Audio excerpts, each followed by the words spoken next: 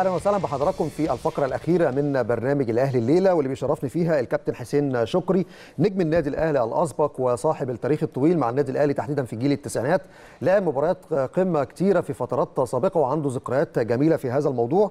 برحب بيه في البداية وبقول لك منورنا وشرفنا في قناة النادي الأهلي يا كابتن حسين. شرف ليا يا أستاذ محمد وإن أنا أبقى موجود طبعا في قناة النادي الأهلي وألف مليون مبروك لكل الأهلاوية.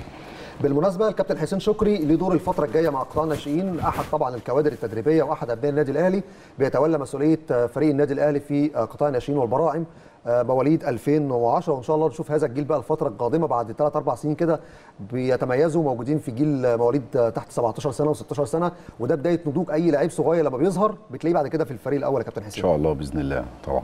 طيب حكاية الدوري ده لقب رقم 41 قبل ما نخش في تفصيلة رقم 41 والدوري وتفاصيله معانا تقرير مهم جدا يحكي النادي الأهلي في مشواره مع هذه المسابقة الغالية وفوزه بهذا اللقب رقم 41 نشوف هذا التقرير التفاصيل ثم نواصل الحديث مع كابتن حسين شكري بعد هذا التقرير.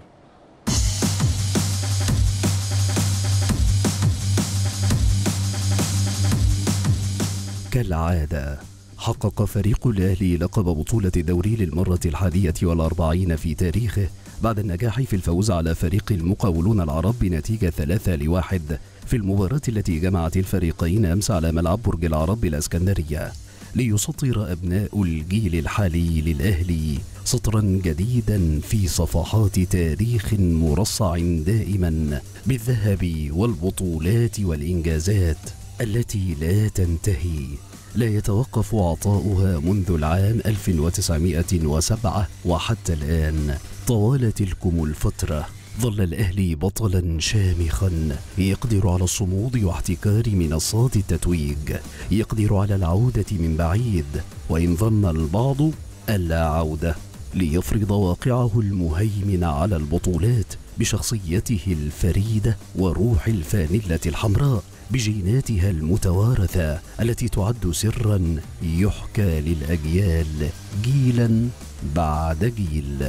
إنه الأهلي الذي لا يعرف المستحيل لا يعرف الانكسار ولا الهزيمة.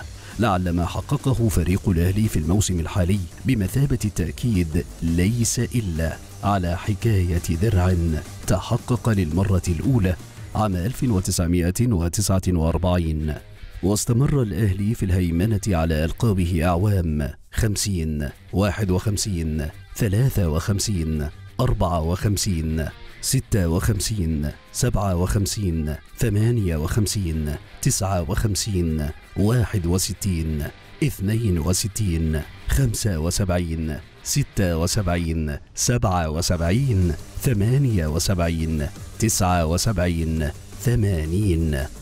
واحد وثمانين اثنين وثمانين خمسة وثمانين ستة وثمانين سبعة وثمانين تسعة وثمانين أربعة وتسعين خمسة وتسعين ستة وتسعين سبعة وتسعين ثمانية وتسعين ألفين ألفين وخمسة ألفين وستة ألفين وسبعة ألفين وثمانية ألفين وتسعة ألفين وعشرة.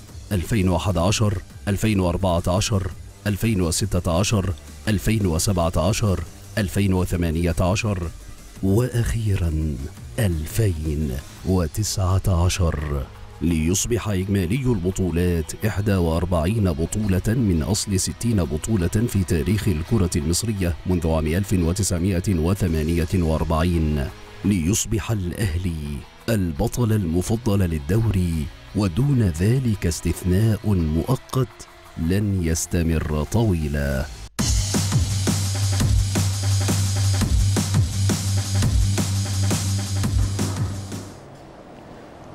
أهلا وسهلا بحضراتكم من جديد بعد هذا التقرير الرائع بمناسبة تفوز النادي الأهلي باللقب رقم 41 دوري عام في تاريخ النادي الأهلي.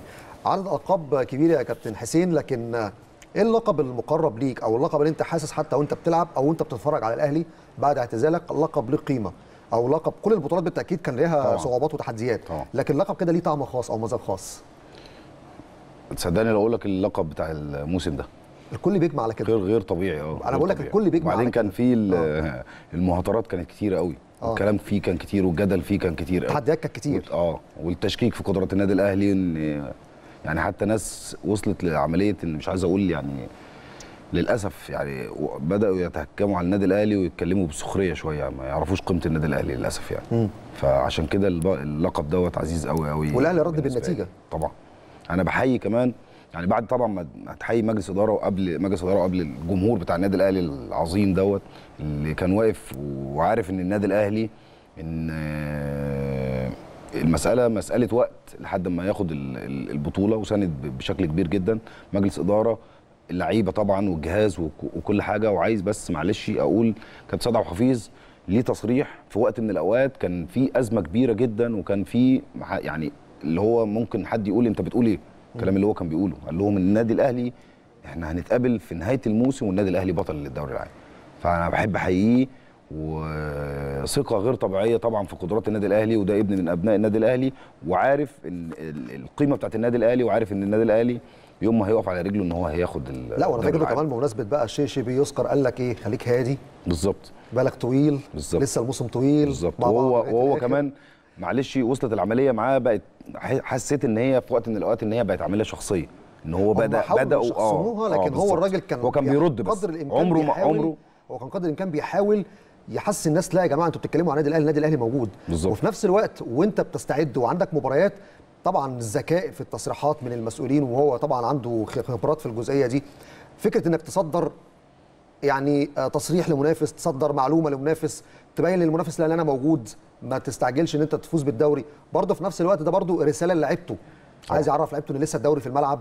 فده ذكاء وتعامل مدير الكرة في الملفات اللي زي دي مهمه جدا. عشان كده مش هيعرف أي حد. مع احترامي الكامل لأي حد في في الدنيا.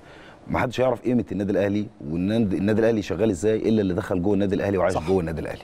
هو بس اللي هيعرف النادي الأهلي لما بيتكلم بيتكلم. ممكن ناس تانية من بره تفتكر إن هو بي- بيتكلم في حاجة في الخيال أو حاجة أو حاجة زي كده. إنما اللي عاش في النادي الأهلي وتربى في النادي الأهلي وعارف قيم النادي الأهلي ومبادئ النادي الأهلي يعني زي في مقولة أنا بحبها جدا من كابتن سيد بازوكا نجم النادي الإسماعيلي طبعا ربنا يديله الصحة. لما قال لك إن النادي الأهلي دول بيرضعوهم بطولات.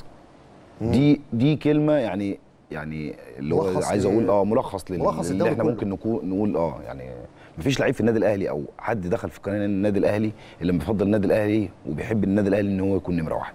صح. وهو النادي الأهلي عايش عشان كده. بتعلموا ده للاولاد الناس. الصغيرة. طبعا.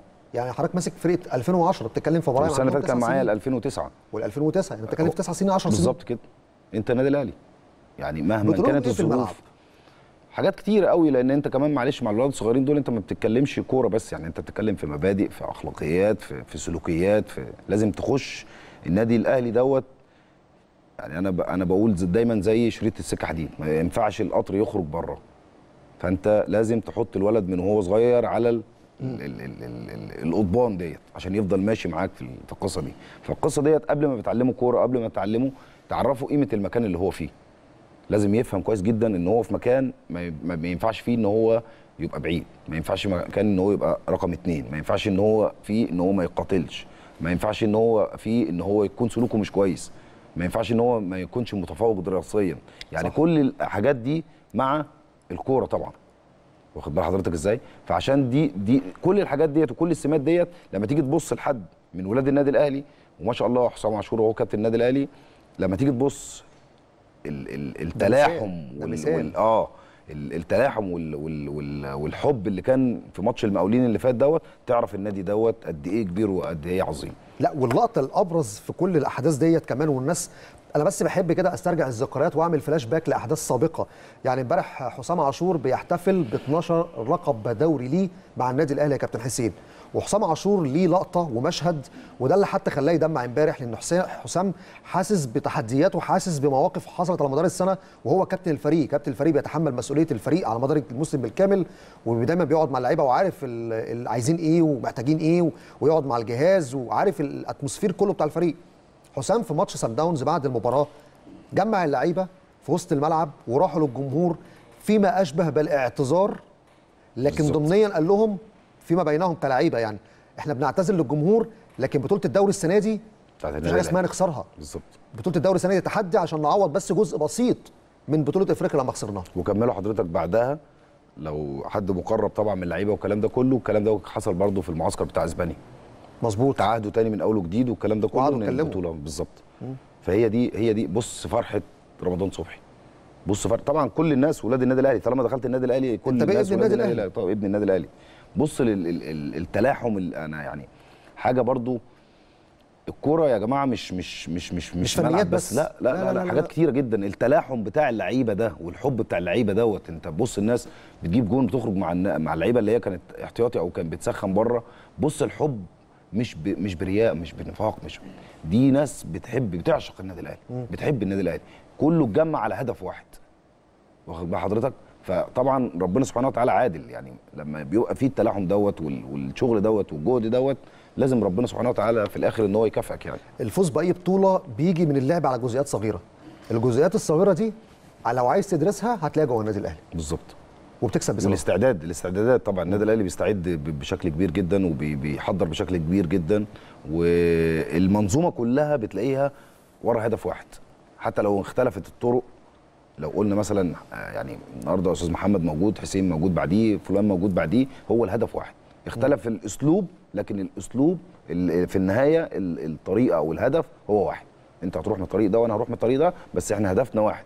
لا، إيه هو البطولة وكمان القيادة الحكيمة النادي الأهلي يبقى رقم واحد آه القيادة الحكيمة كابتن. حسين يعني بعد ما مباراة سان داونز كانت في مطالب كتيرة جدا للجمهور بأمور فنية طبعا أنا مش. عايز أخوض بس عشان يعني ما, ما يبقاش مجلس الاداره اتحمل برضو أكيد. ب ب بشكل عنيف جدا آه كلام ومهاترات وحاجات كتيرة جدا برضو بحييهم جدا إن هم في عز الكلام ده كله عند حسن الظن باتزان بال بال كمعهود طبعا النادي الأهلي ومجلس إدارته إن هو ما بي ما بي ما بيخش في مهاترات كتيرة الناس بتشتغل وبس فطبعا كل التحيه والتقدير ليهم طبعا ولو عندك خسارة فنية في مباراة أو بطولة بتهدى وبتتعامل معاها بمنطق بالظبط. عشان ما تبقاش خسرت كل حاجة بالظبط ما أنت على الأقل لسه عندك بطولة أو اتنين بتلعب عليها فما تخسرش كل حاجة بالظبط. فتحضر وبعد نهاية الموسم تقدر بقى تظبط الفرقة وتشوف القايمة وتشوف الجهاز الفني والكلام ده كله للمرحلة الجاية فالقيادة الحكيمه في مواقف زي دي ما بتبانش إلا في النادي الأهلي بصراحة يا كابتن حسين بالظبط، مش. بنقول الكلام ده والله عشان إحنا على قناة الأهلي بس التاريخ والأيام لا اللي- بتثبت ده. لا هقول لحضرتك يا أستاذ محمد اللي, اللي, مش عايز يصدق كلامنا دوت يرجع. يفتح. يعني أنا كنت مع حضرتك المرة اللي فاتت هنا وكنا بنتكلم في وقت من الأوقات. يفتح كتاب يعني التاريخ. آه يعني ارجع تاني شوية لما كنا حتى أنا كنت فاكر إن هي كان جزئية كانت تقريبا عن إن إن كنا بنتكلم عن الناشئين وكان إن النادي الأهلي. قلت لحضرتك حتى واحد بس يفكر شوية صغيرين واحسب اللعيبة اللي موجودة في النادي الأهلي في الفريق الأول كام واحد. عشان تعرف القطاع الناشئين بيطلع لعيبة من ولاد النادي. بالظبط. بالظبط كده. بالظبط كده صح. طيب إيه أبرز المكاسب اللي اتحققت للأهلي بعد الفوز بالدوري؟ حاجات كتيرة طبعا. يعني بعد موسم طويل وشاق مش عايزين نقول استثنائي ده فوق الاستثنائي يعني إن أنت توصل لحاجة كده. وفي بداية موسم وما خدتش الدوري أنت خدت الدوري بصعوبات كتيرة فنية وغير فنية في الملعب وبره الملعب استحملت حاجات كتيرة. وفي نفس الوقت آه، إن أنت كبداية موسم بالنسبة لك بقى إحنا بنبص خلاص متعودين في النادي الأهلي إن أنت الحمد لله رب العالمين ربنا كرمنا وحققنا الهدف بتاع الدوري العام. أنت في بداية موسم بتستعد لأشياء تانية وحاجات تانية وبطولات تانية. فأنا بشوف كمان إن الأداء اتحسن بشكل كبير جدا كفنيا لل... لل... لل... للفرقة. يعني أنت كسبت وكسبت بشكل كويس. يعني الأداء أفضل كمان بشكل كبير جدا فدي حاجة تبشر بالخير إن شاء الله بأمر الله إن الموسم الجاي إن شاء الله بإذن الله إن الأداء الفرقة هتبقى حاجة إن شاء الله كويسة جدا بإذن الله طيب الناس اللي ما تعرفوش إن الكابتن حسين شكري في الأساس ظهير أيسر back left آه بالظبط صح اتكلمنا عن القصة دي قبل كده لما كنت جاي مكان الكابتن محمد عمارة ولعبت. مباراة الأهلي والزمالك ونزلت في مكان كابتن سيد لما آه. اتصاب ولعبت back right بالظبط. لكن عايز أسألك. كأفضل لعيب كان في المركز ده لما كنت في الترسانة وانتقلت للنادي الأهلي في المكان ده حاليا في الدوري المصري أبرز لاعب هو علي معلول. آه. حديثك عن علي معلول أو تتكلم عن علي معلول تقول إيه؟ من أفضل اللعيبة الأجانب اللي جت في في في مصر. وما كانش معتاد إن النادي الأهلي بيجيب لعيبة في خط الظهر. في الخط الخلفي. آه. إن هم يبقوا كان دايما معظم ال... أي أندية أو النادي الأهلي عامة كان في الجزء الأمامي دوت أنت أو نص الملعب والكلام ده كله إن أنت بتحاول إن أنت تجيب لعيبة. آه. إنما علي ما شاء الله عليه آه تحس إن هو ابن النادي الأهلي متربي في النادي الأهلي. آه مخلص مستواه بشكل كبير جدا ثابت فرق مع النادي الأهلي بشكل كبير أداؤه وبتمنى له التوفيق. يعني ربنا يكرمه إن شاء الله بإذن الله وربنا عوضه خير لأن هو برده من الناس أنا بشوف طبعا احترامي الكامل للمنتخب التونسي إن هو اتظلم برده في موضوع إن هو ما راحش ال- المنتخب. بالظبط. آه لأنه كل كان الكلام- أحق كل أجمع على آه، الجزئية كان ديت. أحق بصراحة إن هو يبقى متواجد كان فرق كتير جدا مع المنتخب التونسي. وبعدين فكرة إن هو في المركز ده هداف الفريق بسبع أهداف إمبارح افتتح لك التسجيل في مباراة كانت يعني دمها تقيل شوية لو جبت جون هتفرق وده اللي حصل كان ليه دور إيجابي في المسألة في ديت في مباريات كتيرة كمان في مباراة بتاعت الاتحاد. في اسكندرية تقريبا في الاتحاد وفي مباراة بتاعت الحرس تقريبا الجيش. آه الجيش طلع آه. الجيش هدف برضه في توقيت برضه. صعب جدا. آه يعني التوقيتات كمان عمل تمريرات حاسمة. بالظبط. التوقيتات كمان اللي هو بيجيب فيها أهداف يعني مؤثرة. مم. فده واضح يعني إن ال- اللي فعلا اللي هو لكل مجتهد نصيب لأن هو هو بيجتهد وبيشتغل على نفسه كويس وبحس إن هو متربي فعلا في النادي الأهلي. واخد السمات كلها بتاعت النادي الأهلي. الروح القتالية بتاعت النادي هو الأهلي. اندمج في كيمياء الأهلي. بالظبط. آه. بالظبط. هو هو هو تحس إن هو يعني متربي وهو عيل صغير في في النادي الأهلي.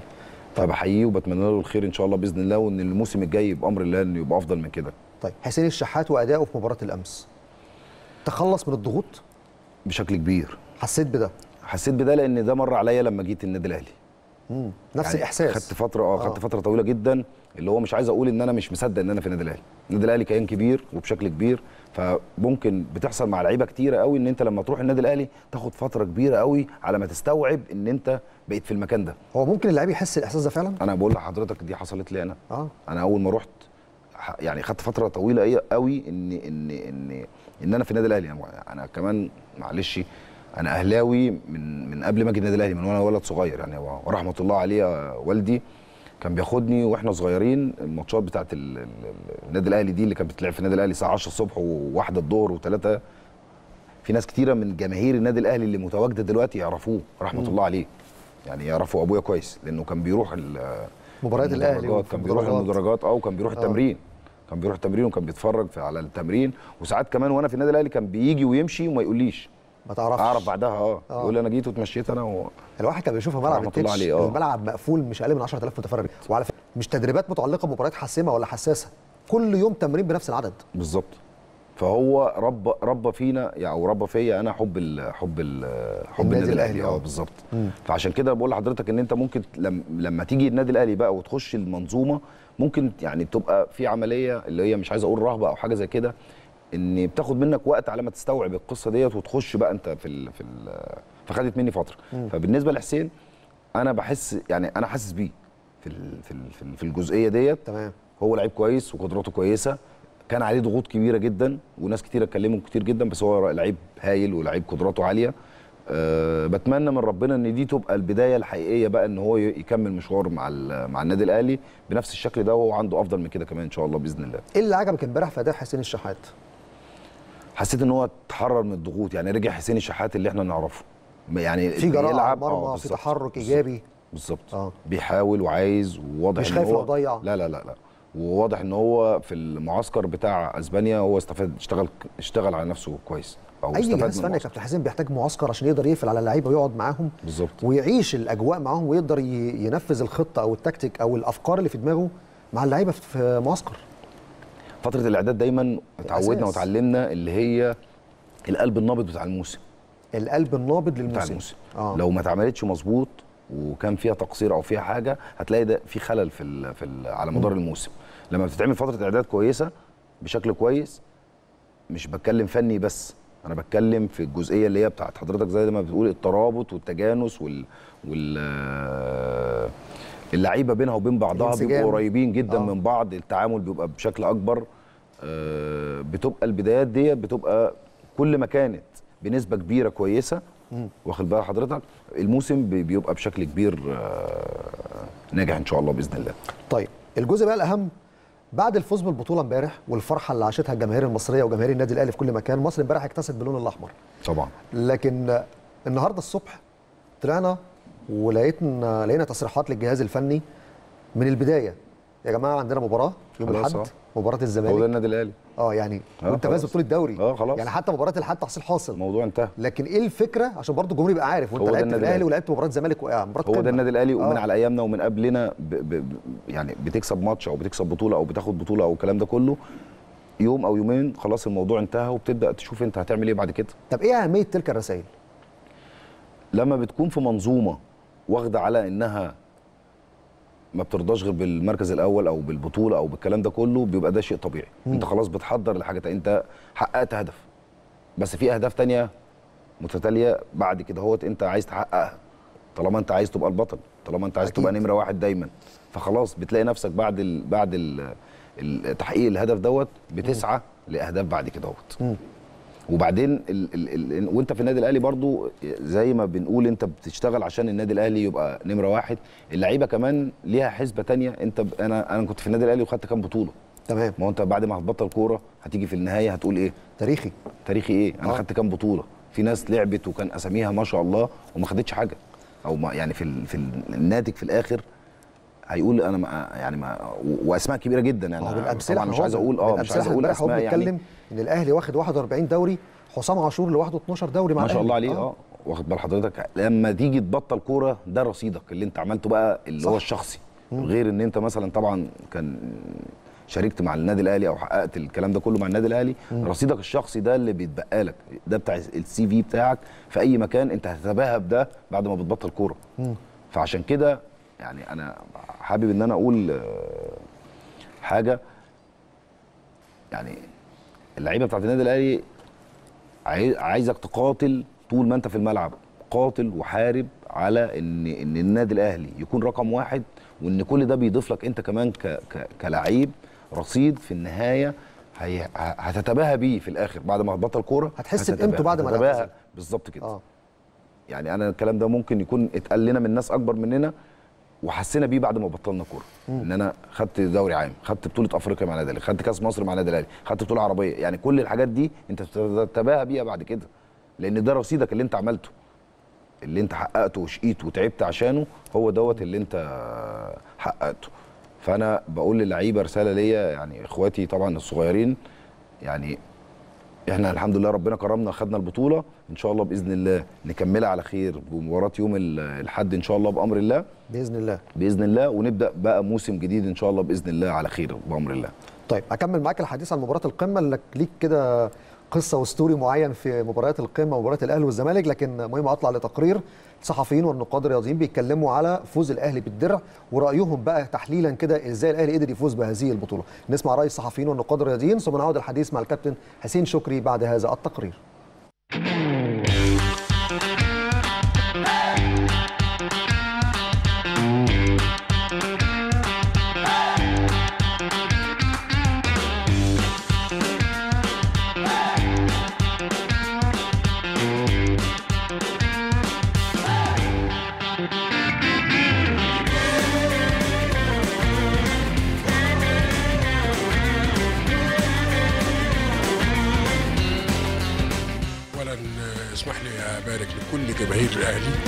أبارك لإدارة الأهلي أبارك للاعبي الأهلي أبارك للجهاز الفني الأهلي. بصراحة آه، يعتبروا أبطال بمعنى الكلمة رغم الظروف الصعبة اللي حضرتك قلت عليها إلا إن هم آه، استطاعوا إن هم يحصدوا أغلى وأهم لقب في الدوري. مش عشان خاطر الأهلي آه، دولابه مليان بالألقاب والبطولات والدروع والكؤوس والحاجات الجميلة دي كلها. اللقب 41 ده هيبقى نقطة مضيئة جدا في تاريخ بطولات الأهلي عشان خاطر ظروف كتيرة جدا جدا جدا. النادي الأهلي عند الموعد تماما كما نحن متوقعين دائما. عايزين نقول للنادي الأهلي مبروك مبروك على طبعا موسم طويل شاق. مليء طبعا بالتحديات. مشوار كان صعب جدا مشوار كان طويل جدا سنة كاملة. فبنبارك طبعا للنادي الأهلي بنبارك لمجلس إدارة النادي الأهلي بنبارك للاعبي النادي الأهلي للجهاز الفني لل- طبعا تعبوا طوال موسم كبير وشاق. بنبارك لجماهير النادي الأهلي اللي هي صمدت ووقفت ورا النادي الأهلي في فترات صعبة كتيرة جدا جدا جدا مرت في مشوار الفريق سواء كان في الدوري أو في البطولة الأفريقية بسبب ال- ال- الإصابات وال- ودي سببت بعض المشاكل تعرض لها الفريق. فطبعا الحمد لله طبعا بنقول النادي الأهلي مبروك على هذا الإنجاز الطويل اللي حققه. وكمان طبعا قدر ان هو يكسب قبل ما يوصل لمباراة القمة وكان في فارق كبير جدا طبعا من النقاط وياما ناس كتير جدا تنظرت على الأهلي وقالت إن هو فريق آه، مش عارف آه، في في آه، في الآخر يمكن يهبط وياما ناس قالت إن هو الأهلي دلوقتي بقى في المنطقة الدافئة فطبعا مبروك عليه المنطقة الدافئة وكل ده طبعا تحمله لاعبي الأهلي وجهازه الفني طبعا بصبر وبعمل وبكفاح. هذا الدوري يجب أن يسجل في موسوعه جينز الأرقام القياسية.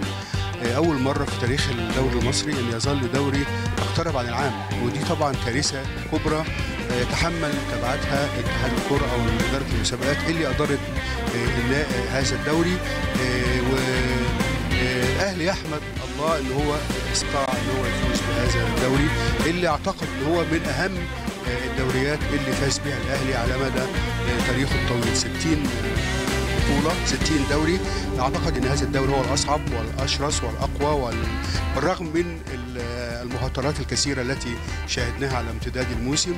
إلا أن الأهلي كان تميز بال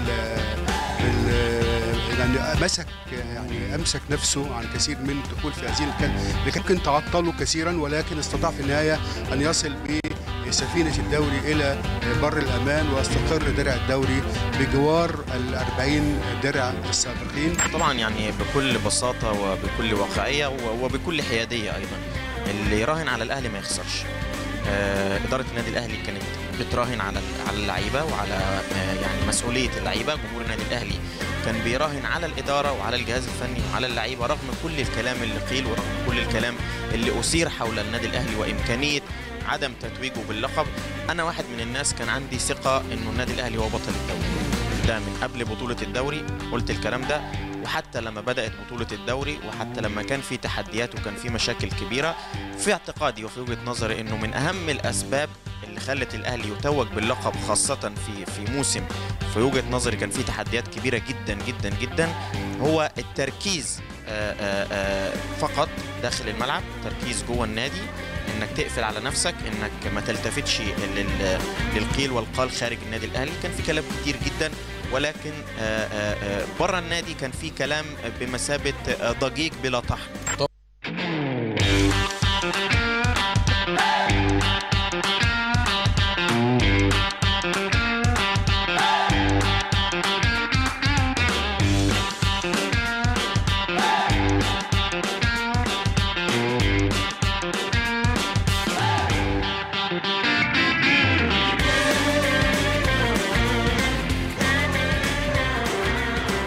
وسهلا بحضراتكم من جديد بعد هذا التقرير ورأي النقاد والصحفيين في فوز النادي الأهلي بالدرع رقم 41 أكيد الصحف والمواقع وكل من مهتم بالتأكيد بفوز النادي الأهلي بالدوري عنده تحليلات وعنده ذكريات وأكيد هيعمل آه، يعني سلسلة فوز النادي الأهلي بهذه المسابقة ويبدأ يتحدث عن المسابقة من أول أسبوع حتى آخر أسبوع مرورا بقرارات وأمور كتيرة جدا مرت بها الكرة المصرية على هذا الموسم. فبالتأكيد ملف مهم جدا حتى للنقد الرياضي وللصحافه الرياضية لما بتيجي تختم الموسم. تعمل ملف كامل وأنت فاز ببطولة إيه اللي أنت التحديات اللي مريت بيها؟ والملف ده أكيد فيه تفاصيل مهمة جدا. الصحافة والنقد الرياضي مهم جدا هيتكلم عليه بعد مباراة القمة. طيب كابتن حسين كنا بنتكلم على مباريات القمة. وأول مشاركة ليك في مباريات القمة كان أول سنة ليك أول season بعد انتقالك من الترسانة للنادي الأهلي. جاي كظهير أيسر. كواليس نزولك مباراه القمة وعشت إزاي أجواء مباراه القمة والنتيجة حتى اللي انتهت بيها أول مباراة شاركت فيها مع النادي الأهلي. بصوا حضرتك طبعا أنت لما بتبقى شغال جاي من من نادي طبعا نادي ترسانه نادي كبير يعني. أنا طبعا. كل الاحترام والتقدير طبعا لنادي ترسانه ليه فضل بعد ربنا سبحانه وتعالى عليا. مباراة القمة بتبقى يعني أجواءها غير أي أجواء. وأي حد يقول لك كده يبقى مش مش ما بيتكلمش حقيقة يعني. أجواءها بتبقى مش مش مش المباراة نفسها. قبل المباراة التحضيرات بتاعت كواليس. الأيام اللي قبل المباراة. من نهاية آخر مباراة هتلعبها. خلال بقى الأسبوع أو العشر أيام اللي أنت هتلعب بيهم قبلها مباراة مباراة الزمالك دي بيبقى ليها استعدادات خاصة وبشكل خاص. وبيبقى ليها أجواء كده سبحان الله بتبقى غير طبيعية. يعني بيبقى التركيز فيها بيعلى بشكل كبير جدا. التدريب القتال في الملعب بيبقى كل اللعيبة عايزة إن هي تشارك في في مباراة زي كده. فأنا كان خدت خلفية طبعا من اللعيبة اللي كانت موجودة الأقدم مني اللي كانوا بيلعبوا في لعبوا مباراة آه، قبلي. قبلي أهلي وزمالك طبعا. ف وأنا كان عندي استعداد يعني كنت حابب ال- ال- المباريات الكبيرة دي بتبقى ولادة يعني طول. عمري آه ب- ب- بحب ال- اللي هي التحديات الحاجات اللي هي ال- ال- اللي زي كده. فكنت مستعد ليها بشكل كبير. آه، الأجواء بتاعتها ك- كنت مبسوط بيها. آه، كانت طبعا جديدة عليا. آه، فاكر التوقيت اللي أنا كنت هنزل فيه؟ أنا نزلت مكان كابتن سيد عبد الحفيظ كان كان بيلعب هو back right. وتقريبا اتخبط في رجله اتعور وكده واستحمل فترة طويلة بصراحة ولعبت تقريبا آخر 25 دقيقة أو حاجة زي كده. الشوط الثاني أنا فاكر مستر زوبل آه، تعليماته كانت بالنسبة لي آه، نفسية أكتر من إنها آه، أمور فنية. أمور فنية. يعني قال لي أنا فاكر كويس حتى اللي هي ال- ال- المباراة تقريبا هنا في في في القناة دي المباراة اللي انتهت بفوز الأهلي 2-1 كان جول كابتن حسام إبراهيم. وكابتن إبراهيم. آه. آه وجول محمد صبري. بالظبط. جونين آه، كابتن حسام وكابتن إبراهيم. فأنا أنا فاكر إن هو لما جه يتكلم معايا اتعامل معايا معايا نفسي. يعني هو قال لي بنفس اللفظ كده. قال لي انت لعيب كويس وأنا بثق فيك وعارف ان انت هتأدي كويس وبشكل كويس وعارف ان انت ما بتخافش وعارف ان انت راجل يعني معنويا أكتر بالظبط من من فنيا هو تمام. كان عارف إن أنا الحمد لله كنت ماشي كويس وكنت كان الفترة اللي هي قبلها كنت بتمرن كويس وهو حاسس أول مباراة قمة. لازم يتعامل معاك هيديك مباراة. قمة إلا لما يكون عارف إن أنت عندك سمات شخصية إن أنت تقدر تقدر والحمد لله رب العالمين فضل ونعمة من عند ربنا إن أنا أديت ال- ال- الفترة اللي أنا لعبت فيها ال- حوالي ال 20 أو 25 دقيقة اللي أنا لعبتهم دول كان كان بشكل مميز كان بشكل كويس جدا يعني. بس الغريب إن أنت جاي يا كابتن حسين ك back left ونزلت في الجبهه اليمنى. هو ده نصيبي بقى. يعني اتعاملت مع لا أنا قبل كمان؟ قبل قبل دي كمان إن أنا أنا أنا من النوعية بتاعت اللعيبة اللي هي عارف اللي هو يعني لفت على كل الأماكن اللي في الملعب. لعيب جوكر. لعبت آه لعبت كل الأماكن آه. اللي في الملعب يعني من بداية من تحت رصاص الحربة ل defender ل back right back left. third back دي لعبتها في النادي الأهلي بس. في الآخر. لا يعني لما جيت لعبتها فيه و- ومشيت فيها فاخدت مني فترة طويلة قوي ما كنتش حافظ المكان نفسه ال- التمركز آه. نفسه بتاع المكان دوت برضه مش مش متطلبات عارف. المركز أكيد مختلفة كنا زمان كنا بنلعب 3 5 2 لو الناس تفتكر كنا بنلعب 3 5 2 ما كناش بنلعب زي دلوقتي الليبرو واثنين. مساكين مع الاثنين. الباكات ولما جيت كان فيها حاجة أصعب كمان إن مستر زوبل ما كانش بيلعب بليبرو واثنين مساكين كنا بنلعب flat يعني ثلاثة زي واحد؟ على خط واحد لو. آه. الفرودين جم هنا الاثنين دول ماسكين واللي هو ال ال ال ال الأخير دوت هو اللي بيغطي هو الليبرو والعكس صحيح. آه. واخد بال حضرتك؟ ولو كانت من منطقة الجزاء النص. كان بتبقى- عادية. الاثنين مساكين فكانت برضو فيها حتة حرفية في اللعب. آه. بالظبط. آه، آه آه. آه. فهي كان لازم تحفظها كويس. غير إن أنت عايز التمركز نفسه إن أنت تعرف تقف إزاي دي بالنسبة لي أنا خدت فترة عشان أعرفها كانت بالنسبة لي خدت مني وقت عطلتني شوية يعني. بس لا الحمد لله رب العالمين لما حفظتها وحفظت طريقة اللعب والشكل والضغط والكلام ده كله مشيت بعد كده بشكل كويس فيها الحمد لله رب العالمين يعني. تمام. نزلت المباراة عشت إزاي الأجواء دي بقى؟ طبعا مباراة الحد للأسف طبعا مباراة بدون جمهور. آه. لكن مبارياتكم في التسعينات كانت آه، كان الملعب مباراة القمة كان آه. لها مواصفات لا خاصة. الملعب كان مليان. آه، كان لها. تقريبا يا ريت نقدر إن إحنا نشوف منها أجزاء يعني. ف... أتمنى آه لو عندنا آه. أجزاء منها نعرضها الناس تفتكر ذكريات مباريات لا القمة. كان كان الجمهور كبير بشكل كبير جدا. و اللي أنا فاكره كمان ان إن الواحد كان أول ما نزلت الملعب عارف أنت الحماس وباور إن أنت أنت عايز تحقق حاجة كويسة وعايز تعمل حاجة كويسة. فما كانش طبعا في ما كانش في رهبة خالص ولا في أي حاجة. أنت عايز اللي هو مباراة الأهلي والزمالك دي ممكن زي ما بيقولوا مولد نجم جديد. انت بالظبط. عايز تظهر بأحسن شكل وأفضل شكل ليك في في في التوقيت ده. وإحنا كنا بنلعب بشكل كويس بصراحة بأمانة الله يعني المباراة دي كنا متفوقين فيها. المباراة دي كانت مباراة رائعة جدا. آه كنا متفوقين فيها بشكل و- كبير. آه كنا متفوقين فيها. ونادي الزمالك كان كان ند. يعني يعني المباراة ما كانتش ب- ب- ب- بشكل كبير لصالح النادي الأهلي. إحنا آه كنا متفوقين ب- ب- بنسبة. وكان نادي الزمالك فيه لعيبة كمان كانت كويسة. يعني كان في في, في نادي الزمالك فيه لعيبة كويسة وكانت فرقة كويسة. طيب بعد المباراة مباراة جميلة يعني. آه بعد المباراة عشت بقى الأجواء إزاي؟ الأهلي كسبان وكانت أول مباراة قمة بالنسبة لك؟ عشت الأجواء إزاي بعد فرحه ما بعدها فرحه من بقى- أوضة اللبس، اشتغلت مروحة. أنت بقى أنت بقى أنت بص أنت إحنا خلصنا المباراة أول ما الحكم صفر وخلصت المباراة كل واحد بيجري في حتة عند الجمهور. آه. ما, ما, ما أنت مش عارف أنت رايح فين. كانت الفرحة فرحة كبيرة جدا كأنك خدت بطولة. لأن هي فعلا بتعتبر مباراة بطولة. يعني بطولة خاصة زي ما بيقولوا بطولة خاصة. الحكم صفر من هنا فعلا إحنا كل واحد عند عند الجمهور في مكان يعني. احتفلنا مع الجمهور بشكل كبير جدا. وكان احتفال جميل يعني. كان يوم آه، بحمد ربنا عليه يعني إن أنا عشته. بس بتبقى بطولة خاصة يا كابتن حسين. طبعا طبعا. مباراة خاصة وبطولة خاصة. بالظبط. بالظبط. اجواءها كمان مختلفة عن أي حاجة. يعني الأجواء بتاعت مباراة الأهلي وال- والزمالك بتبقى أجواء غير طبيعية. يعني بتحس إن أنت بتلعب دوري خاص أو أو مباراة خاصة بره الدوري خالص. فبتمنى من ربنا إن شاء الله بإذن الله إن النادي الأهلي يعني مش عايز أخش في حاجة مش عشان الناس اللي بتتكلم بتقول البطولات بتاعت النادي الأهلي والكلام ده كله إن إحنا نأكد إن شاء الله بإذن الله إن إحنا أبطال طول عمرنا عن جدارة يعني. وعلى فكرة برضو في نقطة مهمة يا كابتن حسين مش الفوز ولا الثلاث نقاط اللي هيأكدوا. لا لا لا لا. بص ما أنا أنا ما بحبش دايما يعني في كلامي ما بحبش دايما أخش في مهاترات مش مش مش, مش مظبوطة. إحنا في نادي اتعلمنا ال الهدف إيه وتحققه. بالظبط. هو ده هو ده القصة. ما حوالين بقى ال- اللغط والكلام اللي بيحصل والكلام ده كله ما بحبش أخش في في, في أفعال وليس أقوال. بص ال ال ال دايما مبدأ كده في الحياة. اللي تلاقي أعذاره كتير يعني معلش أنا أنا آسف زي ما اتعلمتها وزي ما اتقالت لي بيبقى بليد. اللي بتا... دايما حجج كتير ده وبتاع اللي هو زي زمان كانوا بيقولوا كده آه، حجه البليد مسح التخت. أول ما المدرس يطلع ويسأل الأسئلة والكلام ده كله تلاقي واحد راح رايح متبرع واخد البتاع وعمال ي... هو مش عارف لكن مش عايز, عايز يقعد. هو مش عايز يقعد عشان ما يجاوبش. إنما أنت لو أنت شاطر أنت هتقعد واثق من نفسك ومذاكر كويس هتقعد المدرس هيسألك السؤال هتبدأ تجاوب. بس يعني اختصارا لل- لل- للموضوع كله يعني. إن شاء الله نشوف مباراة إن شاء الله جميلة بأمر الله نختم شاء الله. بتمنى من ربنا بإذن الله إن إحنا نأدي بشكل كويس جدا وبأداء كويس جدا وربنا يكللها بنتيجة كويسة إن شاء الله طيب. بأمر الله. آخر حاجة أختم بيها معاك يا كابتن حسين أنا دلوقتي هقول طبعا لكل المشاهدين منشور تعليمات القيد وانتقالات اللاعبين للموسم الجديد وهاخد تعليقك بسرعة عشان باقي أقل من دقيقة. القيد في الموسم الجديد إن شاء الله إحنا بقالنا أسبوع بنتكلم في القصة دي وكنا عايزين إجابات لكن الحمد لله النهارده اتحاد الكورة طلع القيد بالنسبة للموسم الجديد. قائمة السنة الجاية 30 لاعب. ايا كانت المراحل السنية. ايدت من 97 آه، 98 اللي اتلغت ما عندناش مشكلة. أي قائمه بس يكون فيها 30 لاعب. أي لاعب لن يسدد ليه مستحقاته من ناديه خلال شهرين سيسمح له بالرحيل مجانا طبقا لقرار لجنة شؤون اللاعبين في هذا الأمر.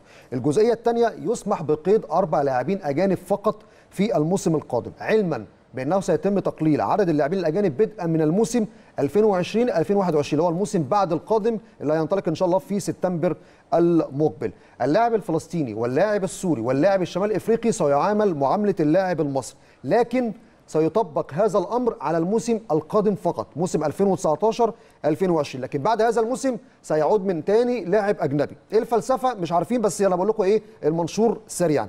الجزئية الأخيرة التسجيل وفتح باب القيد المحلي سيبدأ من 29 7 حتى 29 8 ودي فترة القائمه الأولى اللاعبين اللي هم لسه عقودهم مستمرة وموجودين من الموسم الماضي. لكن القيد سيستمر في الفترة الثانية من 29 8 حتى 17 9 وقبل انطلاق الموسم الجديد. فترة الانتقالات الأخرى هتكون من 1 1 2020 حتى 31 يناير 2020 الإعارة. يجوز للنادي إعارة أي لاعب مرتبط بتعاقد معاه بحد أقصى خمس لاعبين فقط. يعني أي نادي عنده أكتر من 10 لاعبين معارين لا اللائحة دلوقتي الجديدة بتقول خمس معارين فقط. طب لو عندك لاعب معار أو طلعت لاعب وعايز تجيب لاعب بحد أقصى هتستبدل خمس لاعبين فقط. فبالتالي دي شروط القيد والانتقالات خلال الفترة القادمة. وفي مسألة الملف اللاعب الأجنبي أكيد فيها تفاصيل وفيها فلسفة هتكون محور حديثنا وكلامنا إن شاء الله. لكن بعد مباراة القمة وبعد نهاية مباراة الزمالك بالنسبة لاستعدادات الأندية وتحديدا النادي الأهلي في الموسم القادم. تعليق يا كابتن حسين وكلمة أخيرة. أتمنى من ربنا اللي عمل اللائحه ديت يراجع نفسه تاني فيها. لأن كلها معلش أخطاء كبيرة جدا. يعني إيه إن أنا أتعاقد مع لاعب مثلا عربي أو الكلام ده كله موسم واحد؟ فهو في نادي هيجي يتعاقد موسم واحد مع لعيب تمام. ما يصحش وما ينفعش. حاجة تانية أنت أنت دلوقتي أنت بتحاول إن أنت تساعد الأندية ولا بتضغط على الأندية؟ يعني إيه مثلا دلوقتي في أندية مثلا آه، نادي C مش هنتكلم على الدوري الممتاز في رعاية وفي كلام ده. في الدرجة الثانية لعيب ما خدش حقه شهرين ورا بعض يمشي free. طب إزاي؟ طب ما ممكن لعيب يحصل مشكلة مع ما ير- يرفض إن هو ياخد فلوسه. هتعمل معاه إيه؟ ده ده هنشوفها بلجنة شؤون اللاعبين. لا ده موضوع يعني أكيد. موضوع كبير. يعني أنا بتمنى لأن هي فيها أخطاء كبيرة جدا. يعني إيه أنا اتعاقد مع لعيب موسم واحد. في حد في الدنيا؟ طب أنت هتو... يعني هتوفر لي إيه عشان أنا أروح مثلا أجيب لعيب أقول له مثلا تعالى معايا موسم واحد؟ مين لعيب كويس هيجي عشان يجي موسم موسم واحد في نادي ده هيكون محور حديث أكيد بعد نهاية الدوري وأكيد هيبقى فيها تفاصيل الفترة القادمة بعد نهاية المسابقة إن شاء الله. كابتن حسين شكري بشكرك شرفتني ونورتني وكل التوفيق ليك يا رب أنا الفترة متشكر القادمه أستاذ محمد ومتشكر القناه و... ودايما بتشرف إن أنا موجود آه، شرف لينا انت قناة النادي. الأهلي أكيد. ربنا يعزك طبعا وضمن. عائلة النادي الأهلي أكيد أكيد شكرا جزيلا كابتن حسين حلقة كانت مهمة جدا فقرة فنية ممتازة مع الكابتن حسين شكري واسترجعنا فيها ذكريات مباريات القمة مباريات الأهلي والزمالك لكن تبقى إن شاء الله مباراة يوم الأحد القادم نتمنى هي تنتهي بشكل جيد تعبر عن الروح الرياضية ونختم بها موسم نبني عليه للموسم الجديد. وإن شاء الله يختم الاهلي الموسم بانتصار على فريق نادي الزمالك. ولما لا إن شاء الله يستلم الدرع في الملعب ويكون في احتفالية خاصة بعد هذه المباراة. وبإذن الله كل قطاع الكرة وكل النادي الأهلي واعضائه وجماهيره يحتفلوا بهذه البطولة الغالية بعد مباراة يوم الأحد القادم. شكرا لحسن المتابعة والمشاهدة ونلتقي على خير بإذن الله في حلقات أخرى قادمة من الأهلي الليلة. وإلى اللقاء.